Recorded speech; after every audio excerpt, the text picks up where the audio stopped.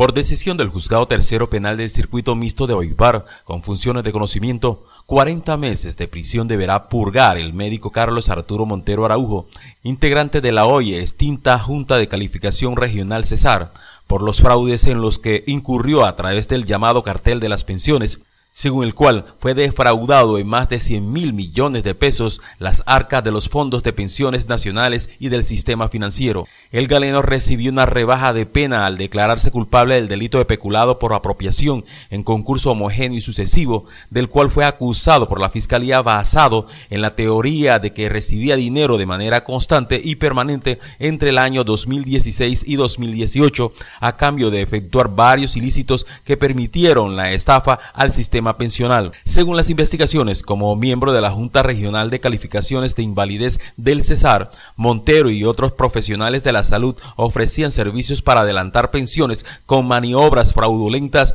como certificaciones de invalidez por enfermedad común, la mayoría de ellos por problemas mentales. El objetivo de la defraudación no iba dirigido solo contra los fondos pensionales, sino que alcanzaba al sistema financiero. Por esta investigación también son procesados varios profesionales del derecho, trabajadores de la empresa minera Drummond, Prodeco y Cerrejón, entre otras personas.